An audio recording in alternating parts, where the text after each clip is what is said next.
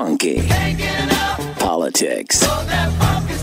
Funky Politics Education Reform Series is presented by the National Civil Rights Museum, sponsored by Memphis Education Fund and Southwest Tennessee Community College. We'd like to thank our media partner, Chalkbeat Tennessee.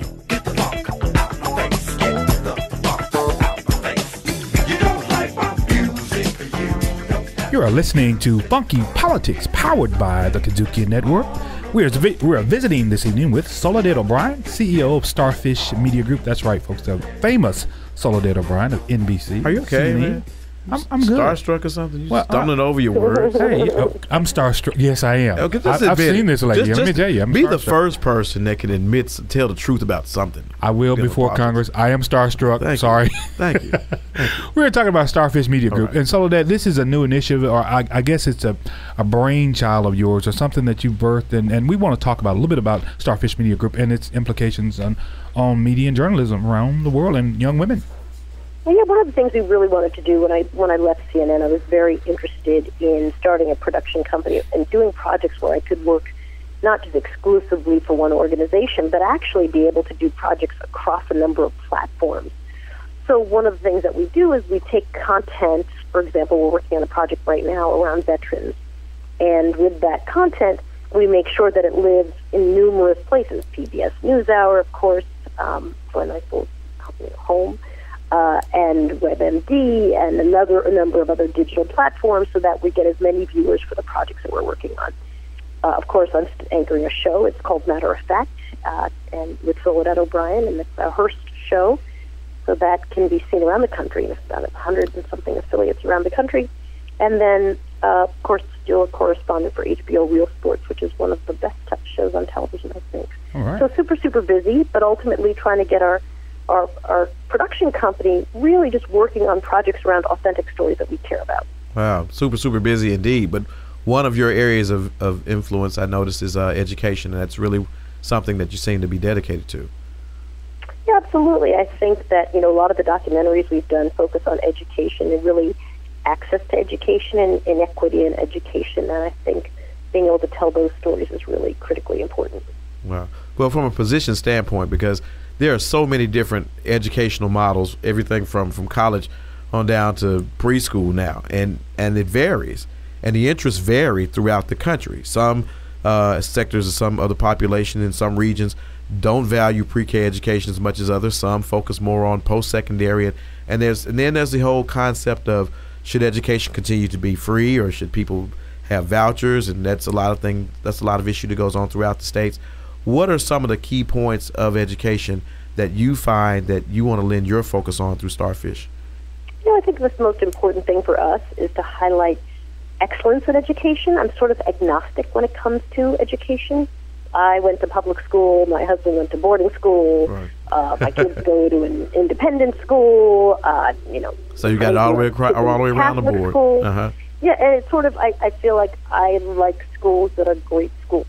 And so what we have to figure out is how to get all schools to be great schools so that people can have opportunities to go wherever they want, wherever they feel is a good match for their kid, but where the quality is excellent. I mean, that to me, you know, whether it's a charter or public, it, you know, it has to be excellent. And there are lots of charter schools that are really not great schools, and I think it's very important that we bring up those charter schools to, to the quality where they need to be.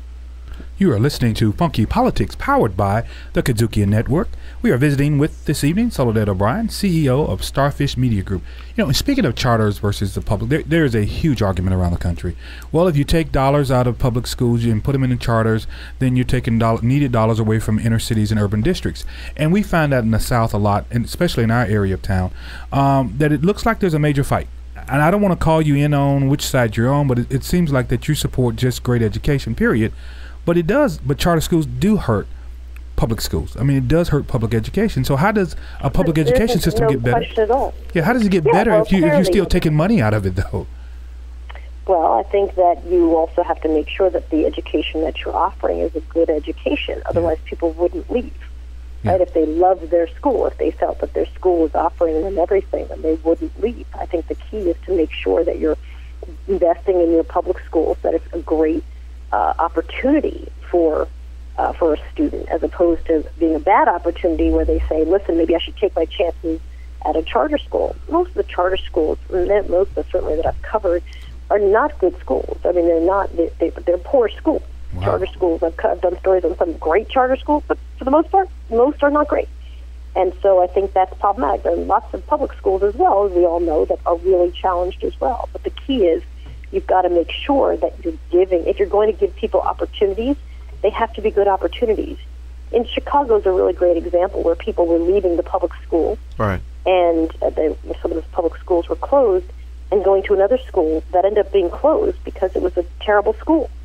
You know what's lost when I mean I have a bunch of kids, right? And once you a child can't lose two years in a school Yeah, with bad right. education.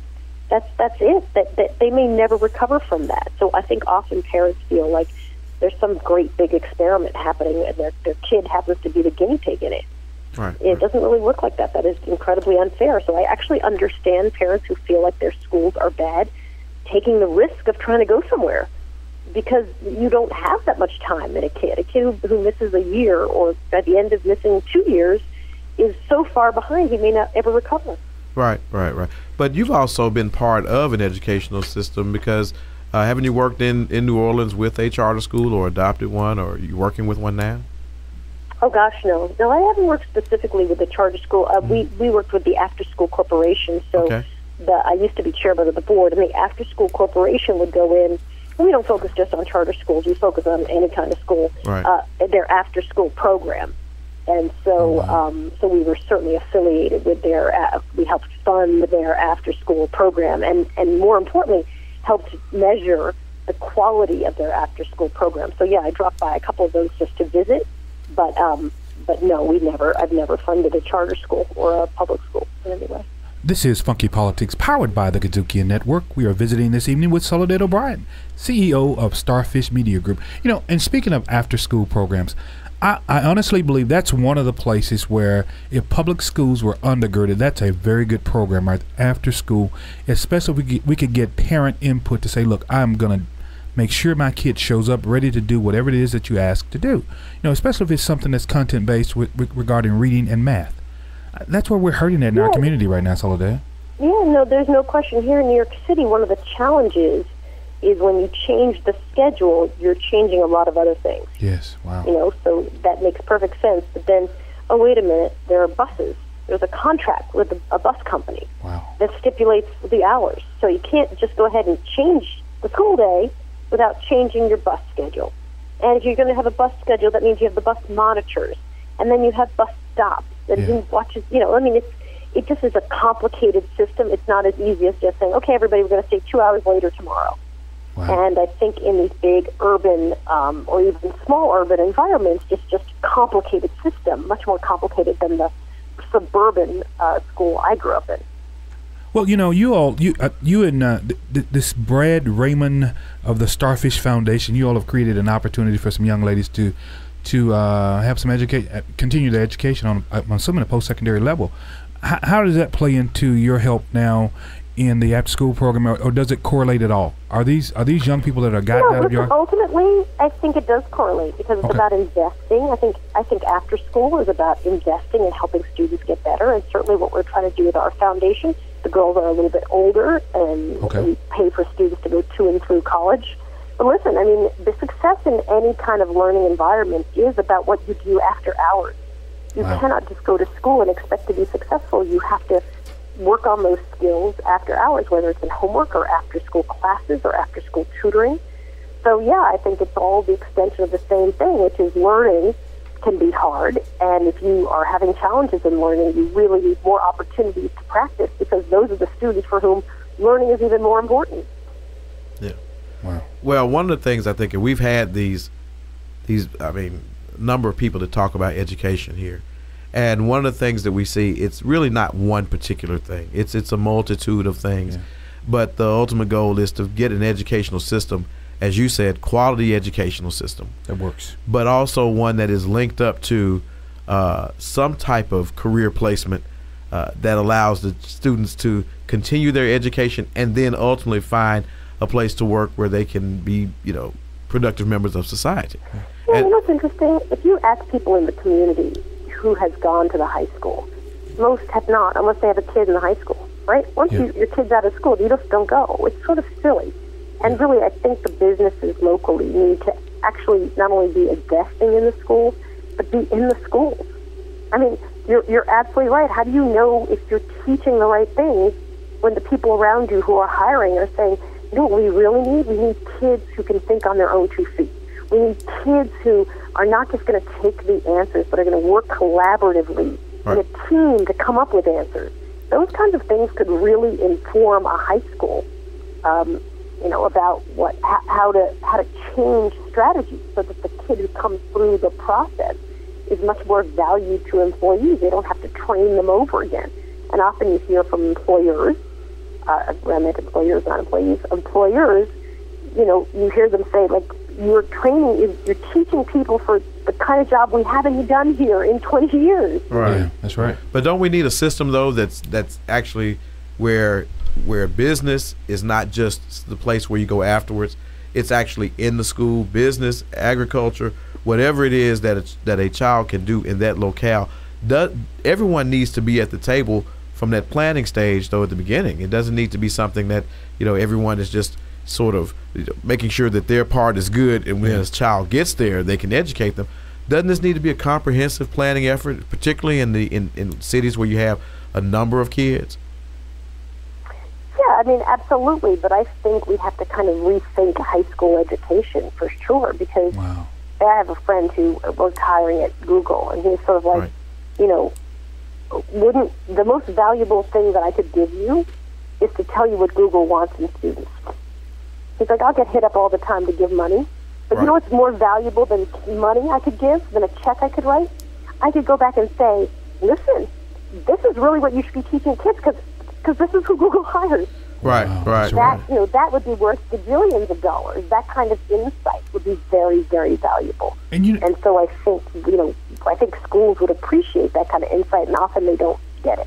And, and you, I agree with you completely. You know, the Steve Jobs, all of these guys out there, Tim Cooks, the Soledad O'Briens. I mean, if if we could wrap our hands around them in, in some of these urban, di- these large urban districts, and basically come in just just talk and say, look, you would be a perfect person to say, look, young lady or young man, this is how you get into broadcasting. This is how it works in journalism. This is no, what you honestly, I'm going to disagree. You, know what disagree? you do? What is that? You hand that kid a camera and say, Oh, "Go tell a story." Wow. Right, because right. You don't need me to inspire you and cheerlead you. That lasts a day. If it goes well, Wow. it's like I'm psyched, and then it's like I don't know what to do with that. Right. You wanted to be in broadcasting, then go report.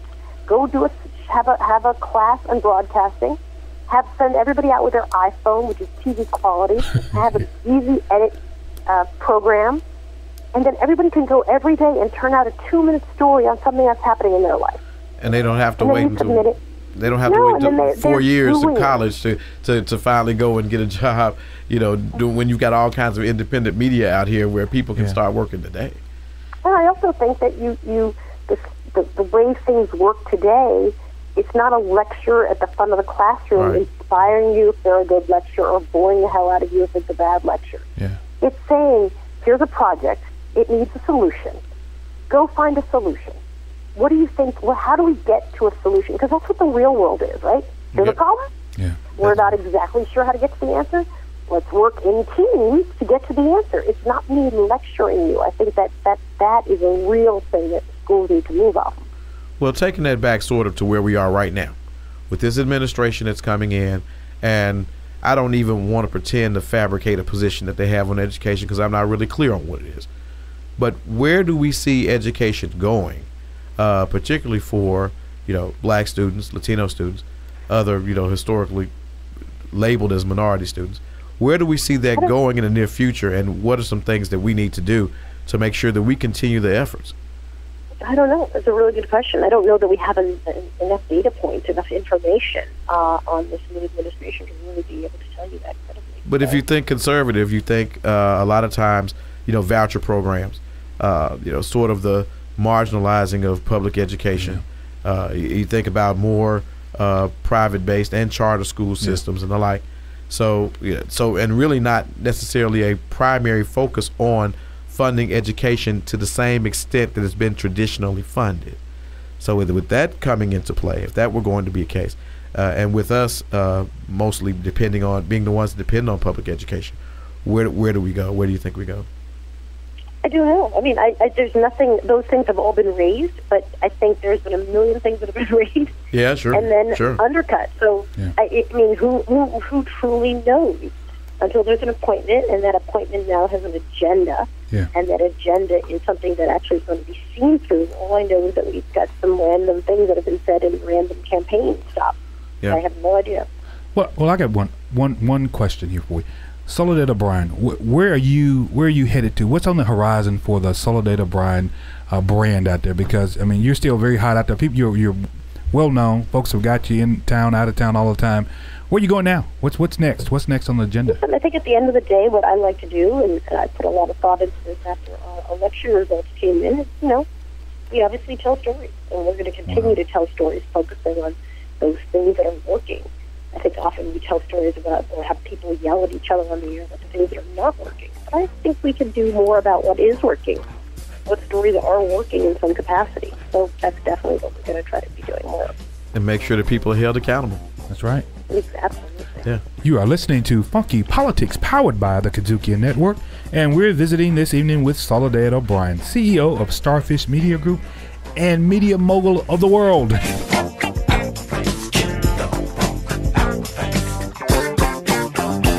This is DC and Doc Ward talking to you about the great opportunity available for you at Southwest Tennessee Community College. You can get a business degree. You can open doors to a wide range of opportunities. Engineering and information technicians are in demand to help power manufacturing and logistics. And paralegal studies, man, those majors are in big demand right now. Register now for spring classes starting January 17th. Call 901 333 4399. A wide range of programs for the most in demand careers are just another reason. Southwest Tennessee Community College is your best choice. In Memphis, there are 116,000 very important young minds. 20,000 of them in 10 schools in the bottom 5%. The Memphis Education Fund partners with committed organizations to give these students access to an equitable education. Their partners work to operate quality schools, recruit, retain, and develop effective teachers and leaders, ensure community voice, and support the needs of the whole child in Shelby County's priority schools. This is the story of a great people, of hopes and dreams, of challenge and change. It's an American story. The story and struggle that started many centuries ago lives today in the halls and on the walls of the renovated National Civil Rights Museum. Enter the Supreme Court Halls of Justice, sit with Rosa Parks on the Montgomery bus, hear Mahalia Jackson sing at the March on Washington. Plan now to visit the National Civil Rights Museum at the Lorraine Motel in Memphis, Tennessee. For more information, log on to civilrightsmuseum.org.